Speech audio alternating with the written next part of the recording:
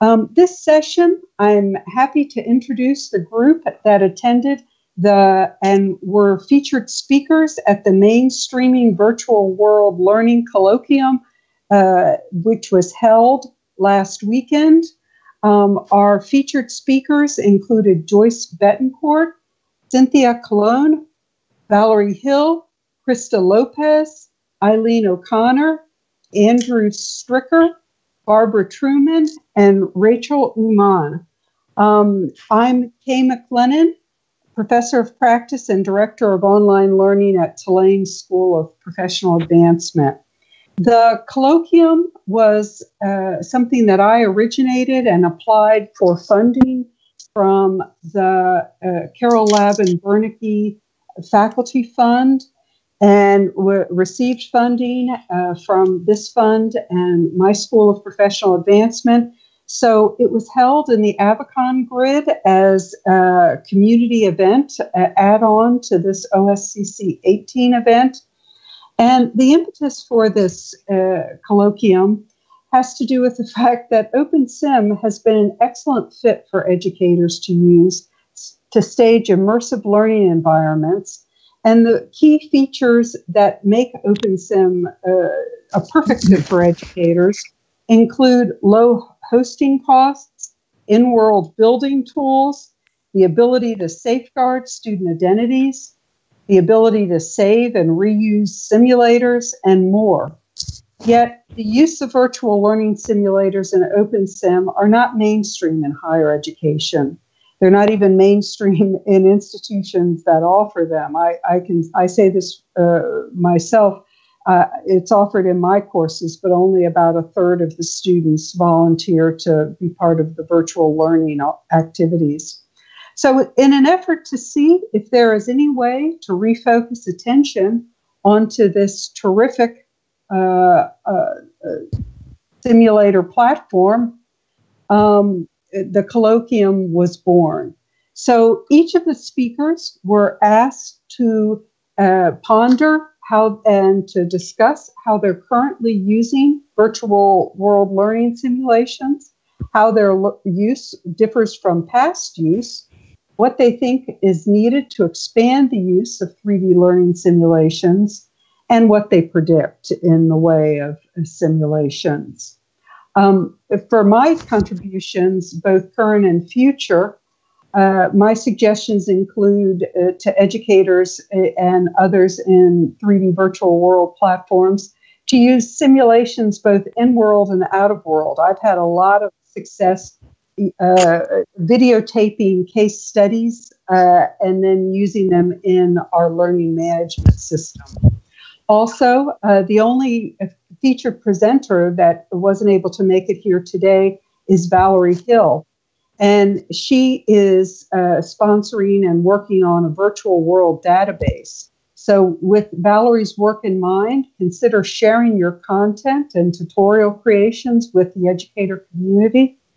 Also, um, I'm presenting with two colleagues from Tulane first thing tomorrow morning about virtual machine software where my colleagues have enabled me to offer students the use of virtualized viewers, where they can uh, enter the virtual world and participate in simulations from uh, any mobile device, including their mobile phone. And finally, uh, what I'd like to leave the group with is for the group to consider addressing the need for a single sign on into OpenSim from learning management systems. We've heard a lot of discussion about uh, new viewers, and I just would like the new viewer to be API or LTI and be able to be integrated into uh, our learning management systems. I have this vision of myself and students just stepping off the page with our avatars. So, with that as the backdrop, I'm going to turn it over to our first speaker, Rachel Umoren is an assistant professor of pediatrics at the University of Washington in Seattle. Thank you so much, Kay, and thank you all for being here. I'm so delighted to give a brief summary of um, our conversations at the colloquium, which were very productive. So, as Kay mentioned, I work at the University of Washington in Seattle. I'm a pediatrician who also takes care of babies who are newborns. And so, one of the key focuses of uh, our group there is to improve newborn outcomes. And uh, after I got there, I made sure that their mission included technology. And so we have um, a focus not just on simulation based training that uses mannequins, but we are also using virtual simulations. And in the simulation world, uh, I think it's not new, and we all know that simulations have been used for years in aviation and military. I think you know in, in space. Uh, it, those are actually reasonably mainstream. Um, what has been lagging behind, I think, in medical training has just been, uh, you know, being able to translate what we are using in the mannequins and in the labs to the virtual environment. So that is an area that we have set out to try to improve on. And in addition, I know we were thinking about how we use simulations for training healthcare providers, not just in high resource settings, but also in low resource settings. And I think that is where Open Simulator and Open Simulator technology could be really powerful. So I just want to say that, you know, where we use simulations we can use virtual environments. Um, there's very little that's discrepant or different from the educational standpoint um, between writing a simulation for the mannequin and writing a simulation for the virtual world. So that's the message that we have been trying to communicate to our group um, with some success. And so we have a VR um, AR lab now at the University of Washington. Uh, it's embedded within the neonatal section. And we're experimenting with lots of different types of sims and different types of programs. So Kay mentioned then and now. So virtual worlds then. Uh, if you might recall, before I moved to Seattle, I was working in Indiana, and there we were doing the Africa Traveler series with the Global Health Sim that I think many of you visit. Um, and then we also had a public health simulation that we were using to explore just the differences in outcomes between uh, urban and a suburban setting for public health students that were doing um, an MD and MPH program. So those kind of set the stage for me um, because from there we did some teamwork training and we were able to develop a prototype for healthcare providers doing teamwork training and um, use that prototype to collect some preliminary data uh, that we were later able to translate into a grant application. So being able to use Open Simulator as a prototyping tool, I think is something that we of all, uh, or many of us have done, um, and use that as kind of a stepping stone to translating, you know, various uh, simulations you know, to larger audiences. Uh, I mean, I think while we all know the benefits, and I think we've all experienced the positives of using Open Simulator, um, some of the challenges have not completely gone away. Um, one of which uh, Kay mentioned, you know, being able to connect or interface with the learning management system in order to collect that kind of check off data for what the learner has been able to do in Open Simulator. Um, the other aspect is just access, you know, being able to access a simulation easily, either on a phone or on an iPad or on, you know, presumably on the laptop without multiple steps, um, is really important. So, at least for our user audience. so the other message I think I wanted to share is, you know, knowing your audience is really important. Um, and I think we recognize pretty early that while medical providers are smart, um, they have very low patience for any tech issues. And so your audience matters quite a bit. Um, I'll say one or two more things because I know that we, I don't have a a lot of time and I'm on call also. so the phone that's ringing in the background um, is probably for me. Uh, but I, would like to say that uh, our success has really been in finding applicable areas to collaborate on with other faculty.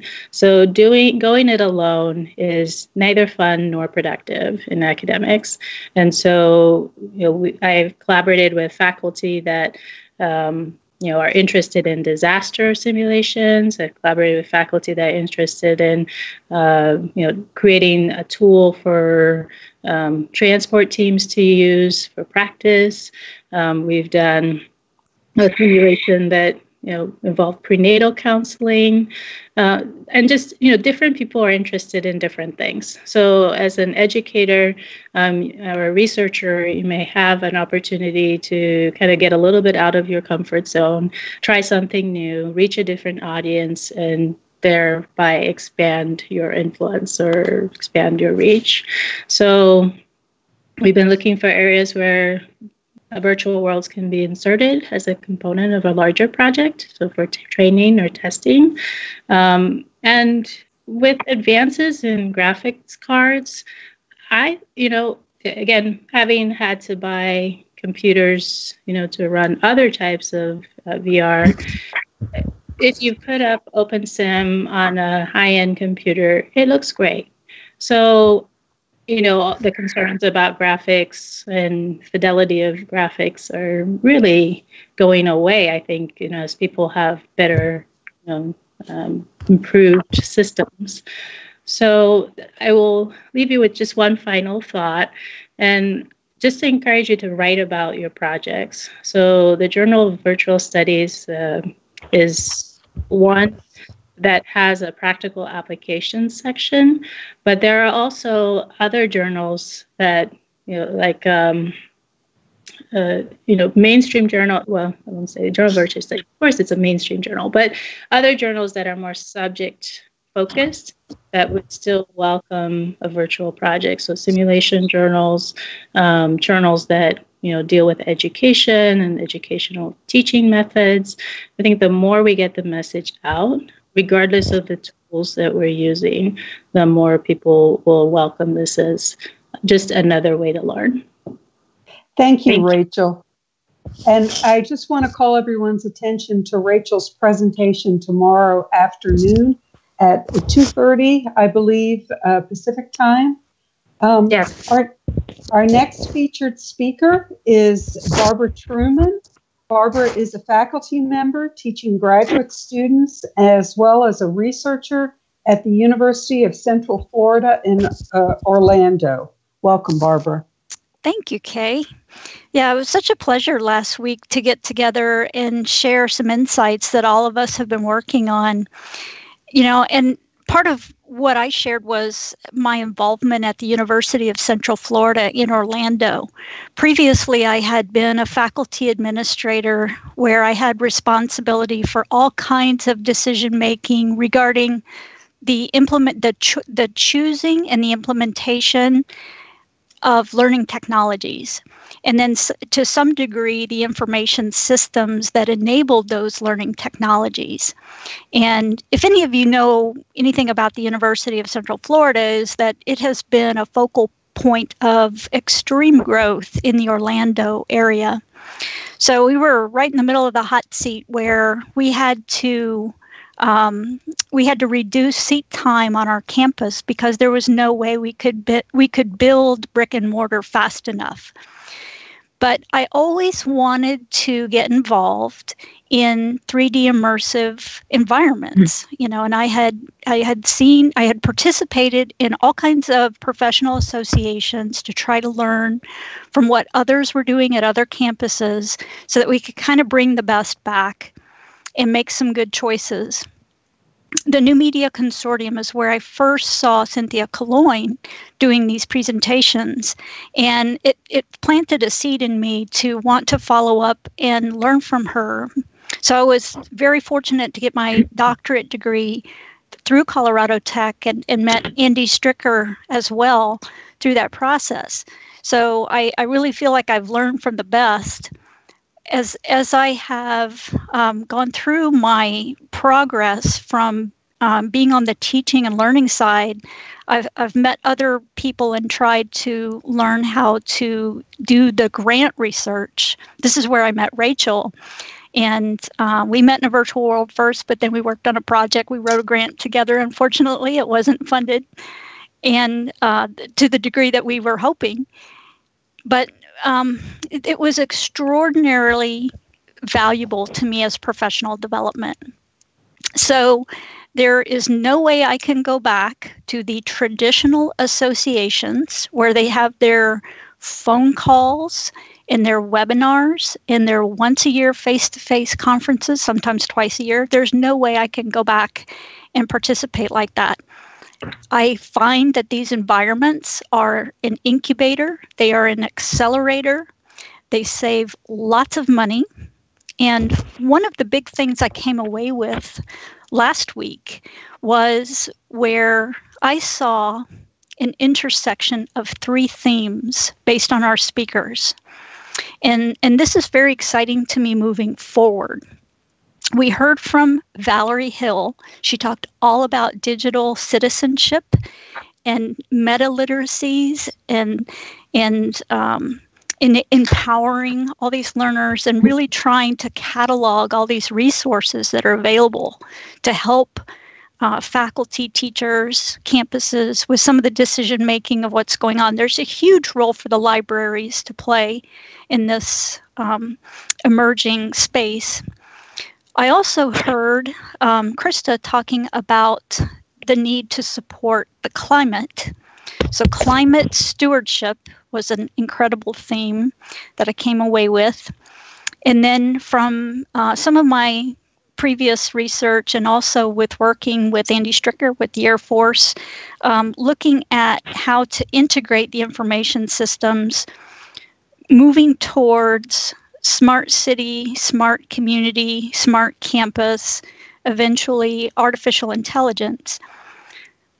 So how you know the the core developers come up with the protocols and the standards that will enable us to have a platform i can see where we can combine our efforts across these three areas and it, it will it could be the most transformational impact that we could have um, on higher education at least, and then hopefully back to secondary education as well.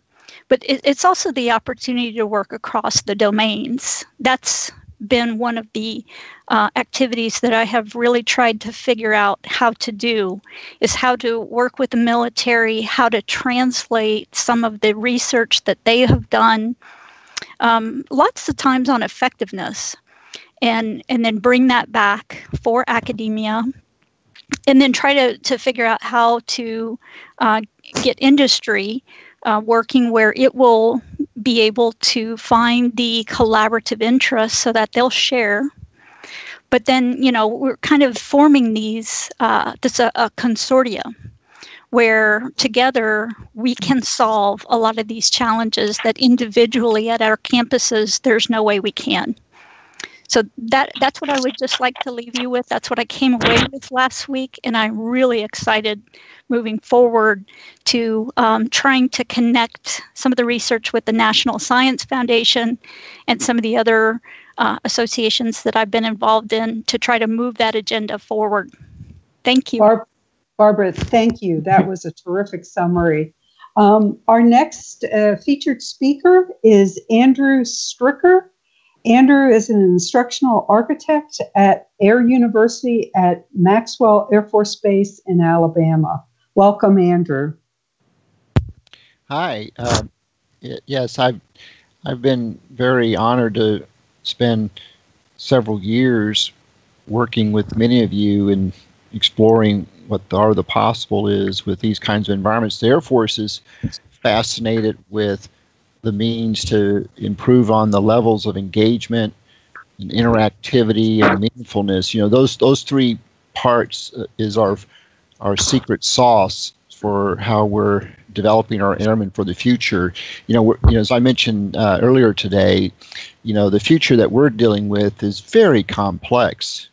Uh, you know, the, the challenges are spanning multiple dimensions of issues, and we're wanting our, our airmen to be really capable of adapting, uh, you know, as best as they can to changing circumstances. So, so a lot of the research uh, around, uh, you know, human intelligence and development uh, and how you develop people over a lifespan uh, to be uh, facile with change and capable of, of dealing with high levels of uncertainty is has been right at the heart of my work.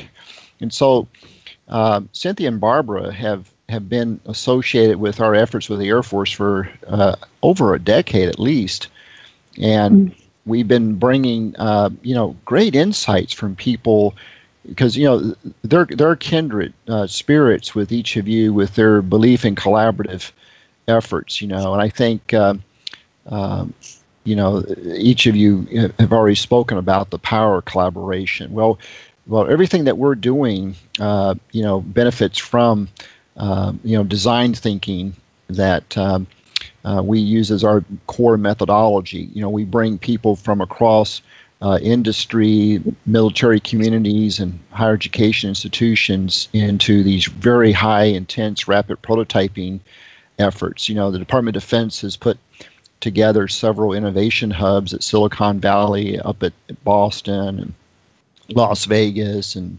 Austin, and we've got one in my location, Air University. And you know, we're so what we've done is we we've we've invested in this kind of a model to uh, you know figure out ways to really enhance uh, you know the applications of virtual reality environments. And so, you know, I'm a cognitive scientist by by education and, and background, and so you know the things I'm trying to do is is you know how do we create these kind of intense scenario based simulations that really uh, uh, capture people's imagination. And when they get into these environments, they're compelling, and they they understand the power of learning together, problem solving together, and and forming a connected network of people that go outside of their particular areas of uh, you know where they work. You know, so for example, we're encouraging our military faculty to get into these environments and, and be connected with other faculty across several institutions and, and organizations. Um, so far, what we've done with our open simulator work uh, with the Air Force, you know, we, we process uh, well hundreds of students through some of our prototypes, and so they do test um, the uh, the the robustness of OpenSim, uh, uh, and I and I absolutely agree about the power of uh, single sign-on. We we had a single sign-on environment uh, at one of our schools for uh, captains, and um, um, but when it came to Open Simulator, we we had to you know feed in that information. Um, um, and so it, it would be wonderful to have like learning interoperability uh, uh, standards applied for how we could you know connect in various learning management systems into these kinds of uh, platforms. Uh, I'm not too worried about that. I think I think that will come. Uh, I'm just very excited to have the means to uh, have the environment like Open Simulator where faculty directly can contribute to the design build process. You know, I, have been I've been associated with various uh, National Science Foundation, National Academy uh, of Sciences uh, programs where they've emphasized that the real uh, engine behind innovation in our universities is getting faculty directly involved in the creation of these kinds of learning scenarios and simulations. Uh, and, and so, um, you know, you know, I don't, I don't think uh, Barbara or, or Cynthia, you would, you would disagree at all, right? Everything we've done, it's, it's been uh, uh, in, involved uh, faculty, and, and in many cases, students. Students have been right there with us, contributing. You know, what a wonderful way to learn, right? When you're actually creating and building. Uh, and, and, and showing how well you understand something by the models you construct, right? And and then and then being able to bring others in uh, to actually uh, give you informed insight about um, your model. And I know Cynthia, you've you've used those techniques in your classes many many times, and so. But so much of what I see about everything I've seen at your conference and, and, and what Tulane has put together is, is just right in line with some of the best research we have about how people learn and, and what we want to try to do uh, for the next generation of learners coming into our institution. So thanks for the opportunity to share today. Andrew, thank you. Our next speaker is Eileen O'Connor. Uh, Eileen is an associate professor at the SUNY Empire State College, and she's got a big presentation uh, uh, after this later in the day today. So thank you for stopping by uh, to give us a little bit of an overview of your presentation from last weekend. Okay, well, and thank you, Kay. Um, are you, can you hear me well enough? Just want to be sure. Yes. Okay. Um, yes. Thank you. Um, well, you know, I'm very much enjoying hearing everyone speak and feeling a little left out myself because I tend to work uh, in a rather isolated fashion. So I'll give you my story and um, hope to get much more involved with others. Um, I came out of IBM back in the 1980s, but I was actually in IBM opened a science division in 1980. I was a chemist. So I came in that way, uh, got into Big Blue, and that was as computers were really just starting up. And so, uh, on a personal computing level, um, became very involved, took a buyout though at the end of the 80s and moved to upstate New York and uh, went back for a doctorate combining my interest in science and my interest in technology. And uh, at the same time, I had a son in law who spent days in um, virtual spaces, war games, World of Warcraft, that type of thing. And I started to say, why aren't educators using these spaces? So that became my initial desire to see what was so involving and seductive about these environments. And um, what I then went through my own journey, uh, getting out of school, working for RPI for a while in engineering school, where I was able to see programmers sitting there working on developing games, wanting to get them myself. So um, I, I remember naively saying, Well, I'm going to make some kind of a deal with Nintendo. You know, they have all of these game engines and areas like that. Uh, but then I never had time to pursue it. And I started working for SUNY Empire State College about 15 years ago. So I always had that in the back of my head. Now, I was in the graduate program in science education initially. And what happened was along the way, the school itself, SUNY, um, got a grant to bring in Second Life. And so what they actually did was had money to make a beautiful island and if you come late at the end of the day you'll see more pictures on that but they began with some help from artists to create some very lovely spaces. And they went to faculty. Now, I'm in an online program. I teach 100% online. Uh, we did have some scenarios early on where we actually worked with some K 12 schools, but I was mostly teaching people who would become K 12 teachers. And then um, the program broadened later to bring in more corporate developers, et cetera. Um, but it was seeing Second Life that got me interested. Now, we had help initially, and there were um, wonderful tech support people who would come in and help us, and artists who would make things.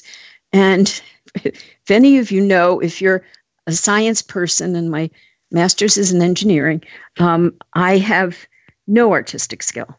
So I created spaces, but I was willing to work in the virtual spaces. I seem to have that scientific tolerance to failure. You know, I was quite willing to keep on failing. And I knew from being involved with computers since the 1970s that they would always make create problems, but they created great possibilities. So I stayed with Second Life, um, making things and bringing my classes into them. Now I had online classes, so I'd followed through the usual ups and downs of having some support for a while. Then the number of faculty that got involved, although they offered this to uh, a number of faculty, there are really just two or three of us who stayed involved with virtual reality. And I loved it. I was able to bring my students together. We had, I used it mostly as a community space. And we would have meetings, we would have the regular online courses and assignments, but we would meet together and have discussions. It was an amazing way to build community, and I started looking that at that as my research area. Then what happened, as you all know, it became too expensive for Second Life. The school stopped supporting it, which actually opened a lot of venues for me when I discovered open source. And so I will always thank the folks here for giving me that opportunity. And what open source gave me was not only the ability, and I, I'm a big Kitely person, I'm not smart enough to run all of these things myself. I basically am an independent. I don't work with support from the school. I, you know, rent my own server space and I get nods that that's Eileen's research area. So, you know, it's they don't poo-poo it, but they don't support me. So um, Kitely really had a wonderful, stable platform.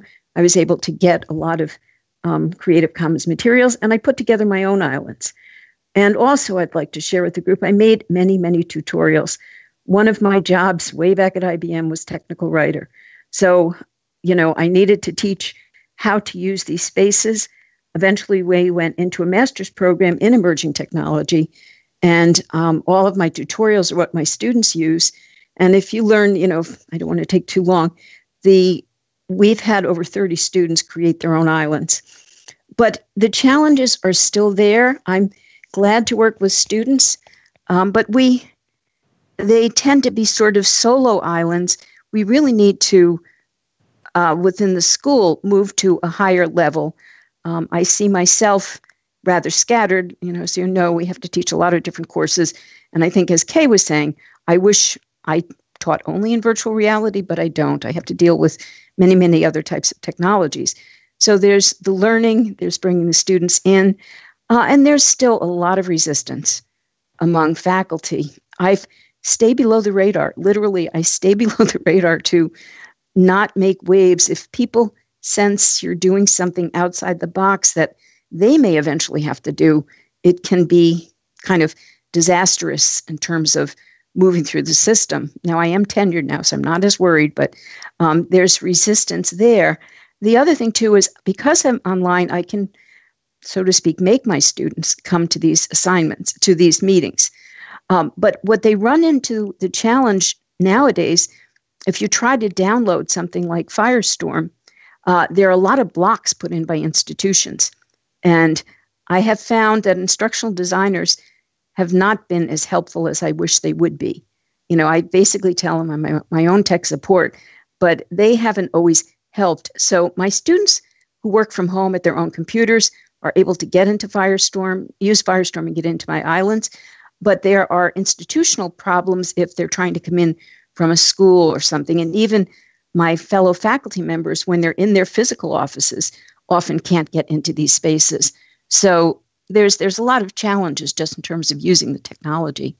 But I think Eileen, I yeah that that's terrific. Um, uh, what a wonderful overview. Um, and again, we're going to come back to Eileen uh, this afternoon. So I encourage everyone to uh, uh stop by her second presentation today.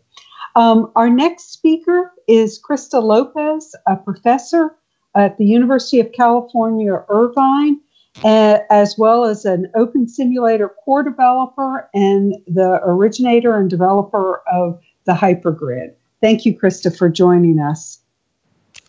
Thank you. Uh, so uh, let me just uh, tell you what I talked about in the uh, immersive learning symposium last week. Uh, it's not so much about the using these environments for um, educational purposes for related topic that uh, in universities we are very well aware, which is for for these kinds of things, meetings and conferences, and uh, that is an inherent part of of getting people together somehow. And um, there's a lot of uh, of meetings and conferences in uh, in you know in higher related to higher education. Um, so much so that we fly a lot. We tend to go to conferences all over the world, uh, se- several times a year. Um, there seems to be this sort of uh, association between, you know, if you are successful, you are supposed to travel a lot, which is a really bad incentive.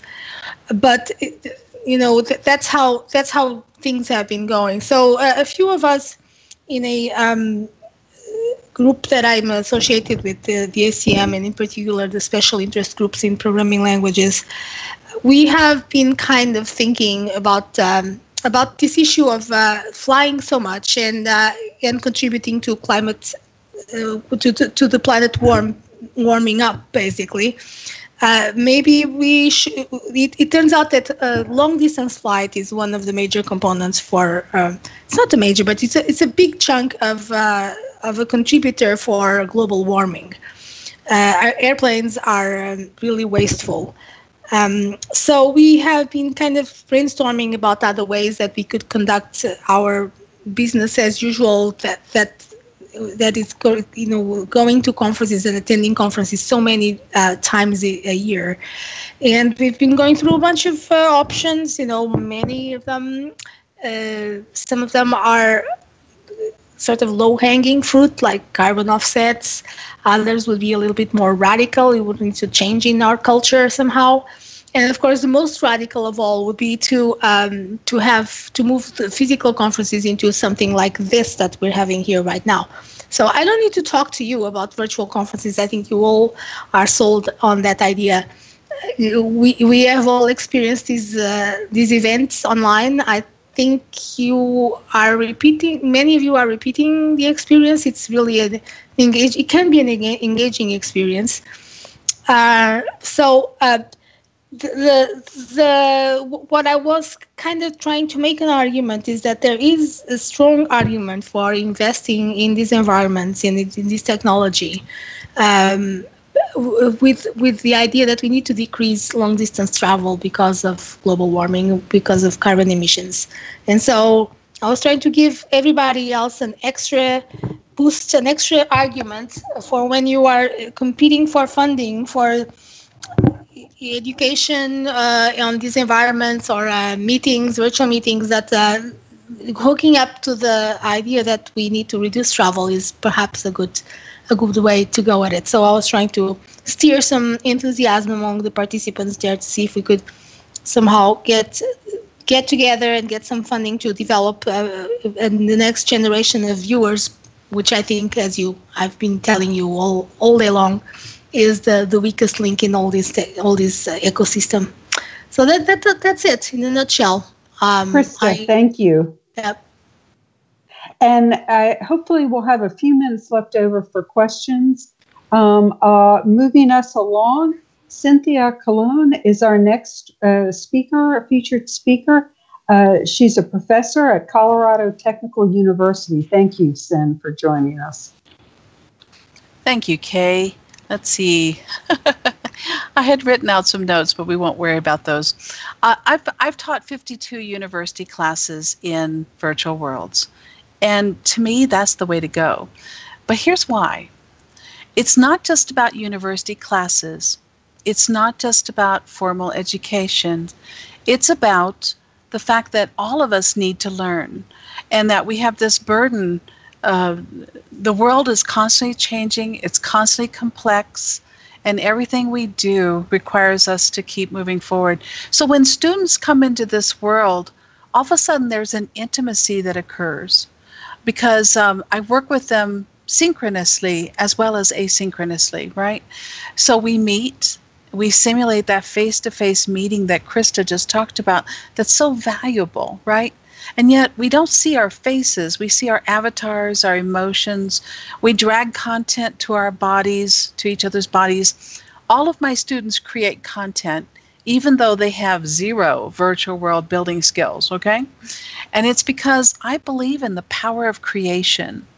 The reason I love these spaces, and OpenSim in particular, is because um, my students can come in and create. And without that power of creation, they don't form a connection to the content. It isn't personal, right? And I don't mean that they're creating things that they're studying. Sometimes what they create models their ideas in strange and wonderful ways, right? And so it takes them to new levels. I know our time is short, so I'll wrap up. I'll be speaking again at 3:30 on the deep immersion panel and I'll talk about it then. But students like Barbara are so inspiring to me because they they don't leave. They don't stop learning as soon as class is done or they graduate. They don't disappear. We still we form connections that matter and we continue the work. And um, that to me is the future of learning in virtual worlds. Cynthia, thank you. That was well said. Um, Joyce Betancourt is uh, our uh, final speaker today, um, featured speaker. Joyce is founder, creative director of AvaCon, and of course the nonprofit Commons in Second Life. And uh, AvaCon enabled our colloquium last uh, weekend. I don't know how we would have done it without them. Joyce, thank you for taking a few minutes out today to talk to us. You're welcome. Um, yes. Uh, so uh, I actually did load a couple slides for my presentation, but I won't. I'll go pretty quick because I know we only have a few minutes, um, and hopefully I can get them to go. Actually, I'll talk until Franz uh, picks up the slides, maybe. Um, but either way, so um, to to sort of um, to sort of start where my where I was where I was uh, uh, focusing in on during the the colloquium last week. You know, I kind of started off with um, uh, with my background, and initially it was with. Um, um, started actually off in the teen grid of Second Life. Um, if um, many of you can kind of go back to that, um, uh, with the with the educational nonprofit global kids. And um, the work we were doing with um, uh, it was it was it was great work. We you know funded from macarthur foundation's digital media and learning. So a lot of the the touch points that like barbara said with like um, digital media literacy was really being a huge topic and and using spaces like virtual worlds and game spaces. And um, uh, from from there, and and and um, though the virtual world environments, as we all know, are very powerful for education, you know, we'd we'd uh, you'd be teaching the teaching uh, these were often high school age students you'd be teaching them you'd go away and come back and suddenly there'd be a whole city build that they would have made over the weekend. Um, so the the ability and the excitement to actually work in the space was great but they weren't practical in the fact that it was it was very limited, even more limited as uh, than what we think of Second Life. The Teen Grid was much worse, um, and uh, and then it kind of evolved, you know, from there. But certainly we we worked on a lot of uh, complex builds and even had the teens uh, uh, designing uh, the experiences and building as well, um, and that that kind of led to doing. Um, to doing sort of oh here we go that's for that. Um, that kind of led to doing events sort of like what's here on the slide where um, we were combining lots of multiple virtual worlds at once uh, on here is Whyville there.com a second life teen second life was also this and this was a particular event from the united nations uh, where kofi annan was receiving an award. Um, so we would do these complex sort of bring everybody together but still wasn't it, it was great but it was really hard for each of those words worlds to connect uh, to connect or talk to each other, um, and also um, from the from the from the doing this point of view, uh, you you know there wasn't uh, import and export in the same way that we have here, so it kind of was limited in regards to what each of these particular events uh, meant for connecting both content and people. Um, and then um, I you know I went further on to some of the the um, kind of instructional uh, design um, uh, and educational technology stuff. When this particular one was with, uh, working with the American Museum of Natural History, and the challenges of uh, uh, bringing bringing uh, students in in a very tight um, time frame, and and working within the frameworks of what the UI, uh, back to the whole viewers thing, what the UI was, so that way you could quickly teach people how to interact and build. Uh, in this case, this was a um, a, a uh, archaeologic uh, an archaeological um, uh, project on um, prehistoric aquatic life, um, and uh, getting students. We had, you know, you, we actually had to kind of um, hack the build tools in what we had to be able to create this, um, which could be much easily done if you know in some of the ways that we've talked about modular viewers um, here and and uh, but certainly you know was that um, and this kind of comes into the now. Uh, so Primland is actually in the AvaCon grid. Um, and uh, another thing that stems back to the Teen Second Life and Global Kids days is we actually had put together a an open source uh, Creative Commons curriculum. And um, uh, with that, we, we allowed people to remix it, and folks were uh, uh, um, sort of redistributing it, uh, mixing it up with with um, uh, learning management system software stuff,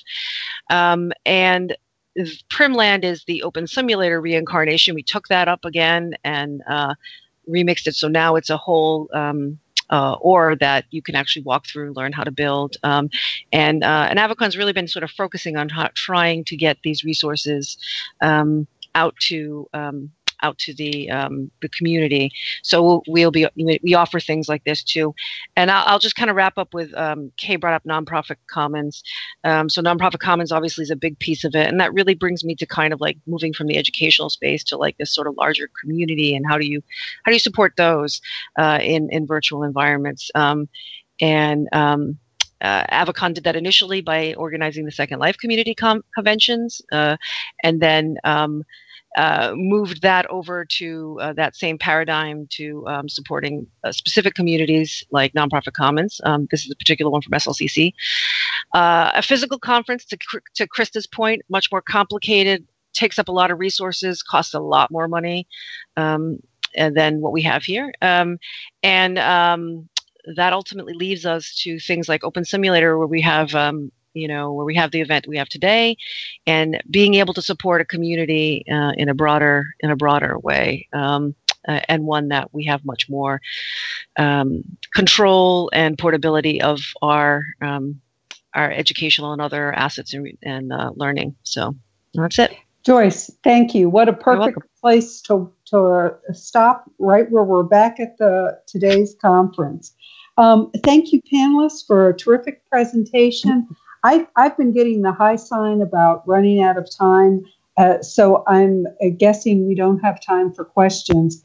But uh, we please... can probably take a couple just because oh, we're great. after this we have a break, so you probably can go right to the hour. Okay, let's see. Um, uh, please type your questions into the chat, and while you're doing that, um, I'm going to go ahead and uh, give the a little bit of the announcement for uh, the next session.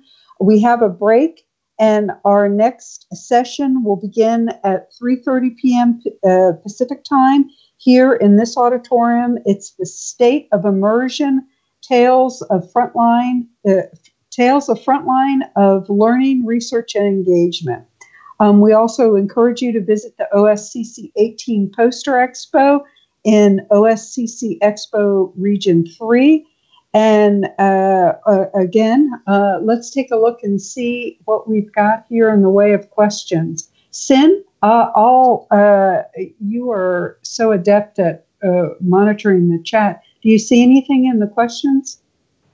You know, I haven't. I did have a few questions that came in through whispers, and I was answering them as they went on.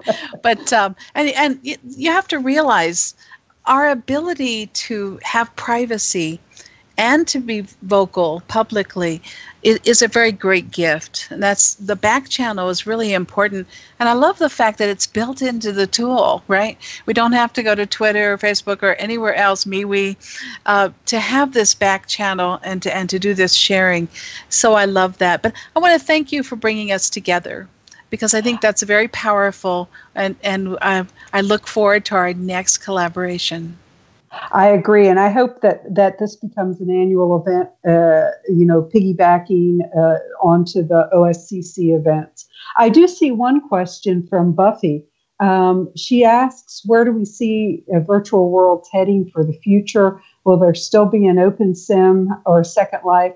Well, I can't speak for Second Life, but I know Open Sim is alive and well and uh, going to be around for some time to come. And anybody, any of our uh, panelists, please jump in to answer Buffy's question. Well, for the Air Force, uh, we are definitely um, excited for the future of Open Sim and, and what it represents with open source and the community of engagement uh, and developers and, and end users. So, from the Air Force perspective, we see a long future.